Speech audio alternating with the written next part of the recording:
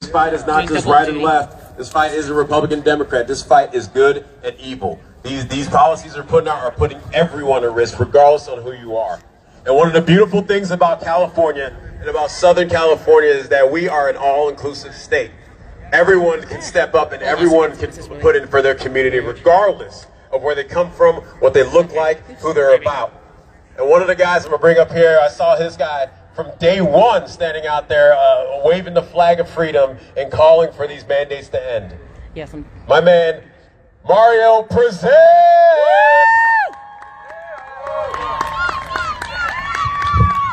Hi everyone, my name is Mario Presents. Um, I come from Palmdale. How many of you guys have heard of Palmdale? Alright, so I want to tell you guys something that we did in Palmdale. I can't take all the credit, I'm a content creator, I'm one person, but we can't do this on our own, which is why we're here. In Palmdale, we passed an ordinance 1577 outlawing the mandated vaccines, the mandated passports, third-party sharing of our private medical information, and mandated testing for employees. In 30 days, if any business dares to ask for a passport, dares to make an employee test for COVID antibodies, they will lose their business license.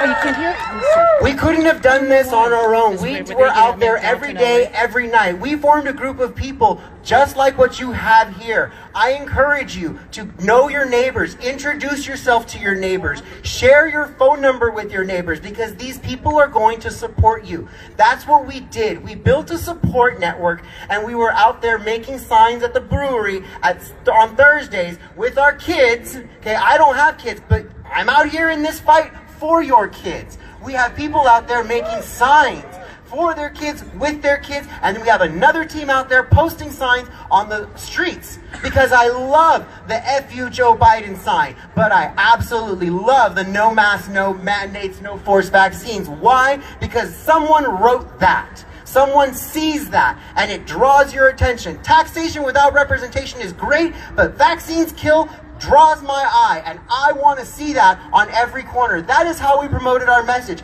letting people know we were in the community and we held weekly meetings to say, this is where we are, this is where we're going. So when people wondered, hey, I heard about this, this coalition as I was driving by, what's it all about? Are you a new member? Yes, you are, yes!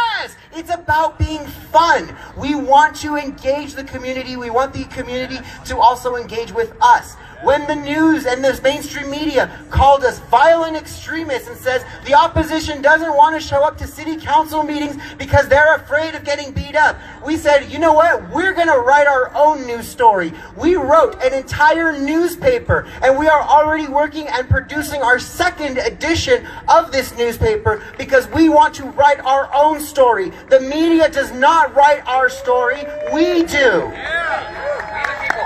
So I encourage you guys to find groups in your community.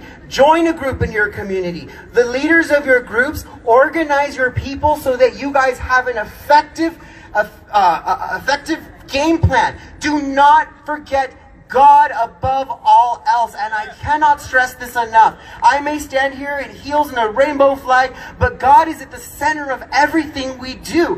What we did in Palmdale could not happen without the grace and the blessing of God. We had a man drive through our protest, and by the grace of God, the woman was not seriously injured. We had a 5 0 victory, unexpected. Why? Because he guided us the entire way. If you want a copy of the Palmdale Journal, come see me. I've got plenty of editions, and I've, every time you see me at a rally, I will have brand new editions of the Palmdale Journal, and it is our hope that we have a Palmdale Journal, a Torrance Journal, a Santa Clarita Journal, a journal in every community writing your story.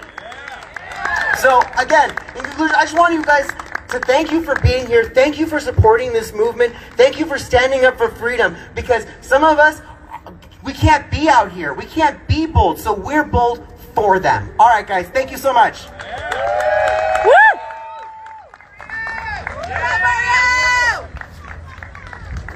Thank you, Mario.